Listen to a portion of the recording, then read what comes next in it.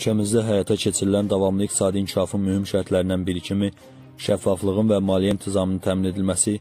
aparılan iqtisadi islahatların korrupsiyaya qarşı mübarizə tədbirləri ilə dəstəklənməsi, prokurorluq orqanları tərəfindən daim diqqət mərkəzində saxlanılmaqla korrupsiya, hüquq pozmalarına qarşı kəsərli və ardıcıl mübarizə tədbirləri davam etdirilir. Baş prokurorluğun mətbuat xidmətindən verilən məlumata görə, həyata keçirilməkdə olan belə tədbirlərin davamı kimi Lütfü Qədirovun 2010-2020-ci illərdə Azərbaycan Dövlət Nəfəs Alətləri Orkestrinin bədii rəhbəri işləyərkən xidməti vəzifələrin icrası ilə əlaqədar tabeçiliyində olan əməkdaşlara ümumi himayədarlıq və laqeydlik müqabilində onlardan külli miqdarda rüşvət almasına dair kifayət qədər dəlillər aşkar edildiyindən